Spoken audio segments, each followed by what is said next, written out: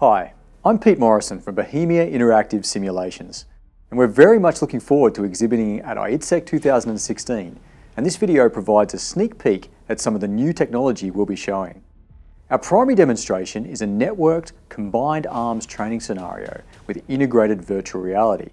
Our new whole earth rendering engine, VBS Blue, provides the visuals for a realistic and immersive F/A-18 flight simulation, which uses FLEX-Air as a simulation host.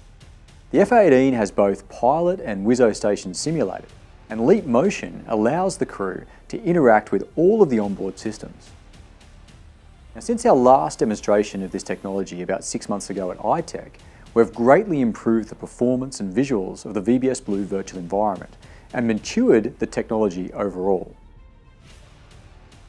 At I/ITSEC, the F-18 in VBS Blue IG will be engaging VBS3 entities in a networked scenario.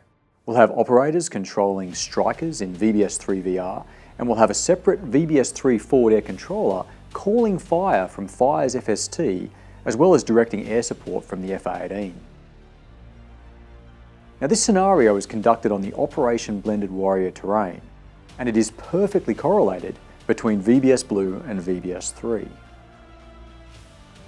VBS Blue will be the rendering engine behind a range of new products that we are releasing in 2017, including a VBS IG upgrade and a new terrain editor.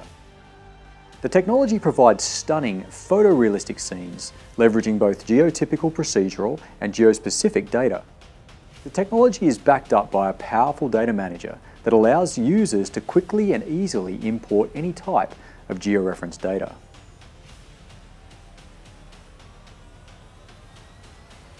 We're very, very proud of the innovation shown by our development teams this year, so please visit us at I/ITSEC to see the latest in the virtual battle space.